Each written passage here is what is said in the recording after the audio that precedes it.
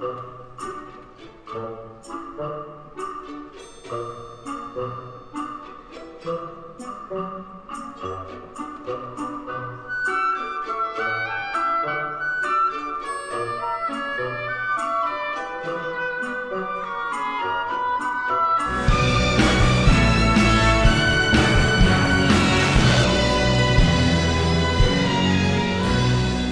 Выходные в Рязанской области прошли насыщенно. В Спасском районе тысячи гостей собрались для наблюдения за аэростатами в рамках фестиваля «Небо России», а в Рыбновском традиционное поле Волжской битвы собрало любителей истории. Реконструкция Волжской битвы – центральное событие праздника. Перед зрителями разворачивается живая страница истории Древней Руси, позволяющая окунуться в дух и настроение XIV века. Гости мероприятия воочию могут рассмотреть воинскую экипировку и методику ведения боя. В реконструкции сражений принимают участие специализированные отряды – кавалерия, лучники, пехота. Тот поединок не потеха. На коне двух людей в доспехах. Они вступают в смертный бой. Они гоняются по кругу кругу, с коня стремясь друг друга снять. То налетают друг на друга, то разъезжаются опять. Фестиваль приурочен к 646-й годовщине победы русского войска над Ордой Мурзы-Бегича в 1378 году в битве на реке Воже. Фестиваль проводят с 2003 года в селе Глебово-Городище Рыбновского района на предполагаемом месте битвы. А вот этот наш военно-исторический фестиваль – это дань настоящему мужеству, настоящей отваге. Сама идея просто замечательная. Я вижу сегодня здесь вот очень много детей, молодежи.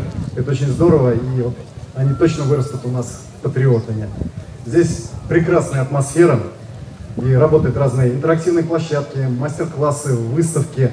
Вот сейчас начнется представление с реконструкции. В этом году мы постарались сделать все так намного более масштабно, красочно еще. И погода благоволит. Все просто прекрасно. Я уверен, что нам всем понравится. Желаю всем замечательного настроения и позитивных эмоций. Около стелы в честь победы на реке Вожа прошла лития во славу русского воинства. Богослужение провел митрополит Рязанский и Михайловский Марк. К мемориалу возложили гирлянды, памяти и цветы. В течение всего дня на площадке фестиваля проходили концерты фольклорных и этнографических коллективов, работала широкая ярмарка, ремесленные мастер-классы и костюмированные фотозоны. Первые иконы датируются VI веком. На Руси это изобразительное искусство появилось с принятием христианства. О том, по каким канонам пишут лики святых, расскажем в следующем материале. Екатерина Деркач пишет иконы всего несколько лет. Сначала занималась в творческом кружке при храме, потом обучалась искусству в мастерской профессионального художника-реставратора. Постоянная практика в написании икон и изучение святых писаний пробудили желание реализовать свой талант во благо другим, признается девушка. Так, два года назад при храме Покрова Пресвятой Богородицы и появилась вот эта вот иконописная мастерская. Творчество не должно просто идти в стол. Всегда творческий творческий человек хочет отдавать что-то людям, потому что вот этот обмен энергии, а, обмен радости, любовью, он важен для всех. Это духовный обмен, это одна из духовных составляющих творчества, потому что важен, а, важно не просто творчество, важен источник этого творчества. И мне захотелось сделать что-то в церкви и для церкви.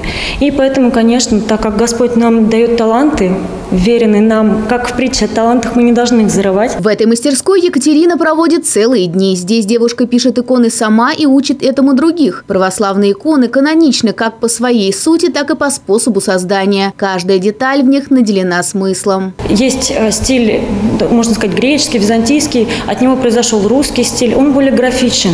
Да, там есть немножечко а, другие условности, э, другие правила. Не что мы изображаем, а как мы изображаем. Больше это ближе к графике. Есть академический стиль живописный, но и там, и там, в любой манере исполнения важен канон, важны правила, по которым мы отличаем святых, э, евангельские, библейские сюжеты. Художник должен писать иконы не на основании своих домыслов, а согласно церковному преданию. Канон с греческого языка переводится как норма. С давних времен и по сегодняшний день иконописцы опираются на византийский иконописный канон, который датирует восьмым веком. Так, например, особые требования в иконописании касаются цветов и света. Расположение фигур и символов. Причем многие каноны едины для всех стилей. Мы изображаем Спасителя всегда. А, и вокруг головы у него нимб. У Спасителя нимб в православии принято изображать с перекрестием. Крест, перекрестие, означает крестные страдания и символ нашего спасения. На этом кресте изображены, как правило, буквы омикрон, омега, ню, которые означают греческое слово «сущий» в совокупности. Что такое «сущий»? Это то, во что мы верим. С другой стороны, канонические догмы охватывают лишь основные моменты. В нюансах же у мастера есть достаточное количество вариантов для реализации своих фантазий и собственного видения. Екатерине нравится работать темперой, а вообще в современном иконописании художники используют и акрил. Свечение икон мастер добивается позолотой, которая представляет собой сусальное золото, нанесенное тонким слоем на особый состав. Картины из фондов Рязанского художественного музея отправятся в Третьяковку на большую выставку. Расскажем, что это за полотна.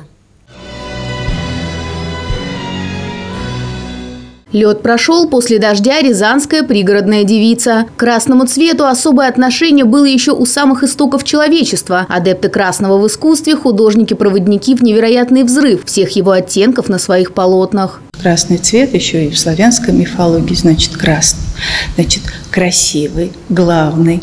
А художники Архипов и Малявин к этому цвету относились особенно. Он выполнял в их произведениях, не только в их произведениях, но, безусловно, выполнял такую какую-то определяющую функцию в разные периоды творческого пути. И вот не случайно устроители выставки говорили о том и говорят о том, что красный э, – это вот такое сигнальный какой-то момент и взрыв красного цвета. Он разный. Абрам Архипов и Филипп Малявин – яркие представители русского импрессионизма. Образ крестьянки стал центральным в творчестве обоих художников, ведь именно он в начале 20 века ассоциировался у народа с образом России. И э, Архипов и Малявин связаны с Рязанской землей.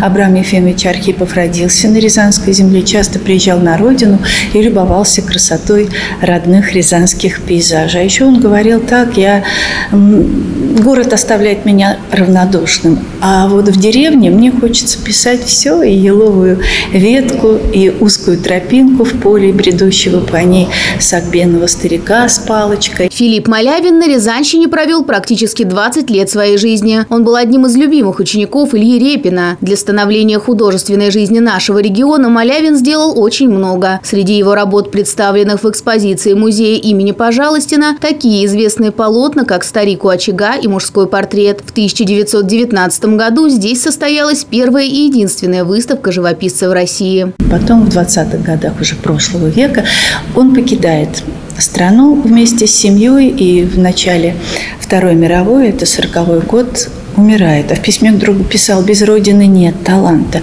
нет вдохновения. Семь картин двух импрессионистов уже совсем скоро станут частью выставки «Адепты Красного» Малявин Архипов, которую организует Третьяковская галерея. Экспозицию приурочили к 155-летию со дня рождения Филиппа Малявина и 95-летию со дня смерти Абрама Архипова. В состав экспозиции войдут произведения из Государственного русского музея, научно-исследовательского музея при Российской академии художеств, нашего Рязанского художественного музея имени Пожалостина, а также других музеев и частных собраний.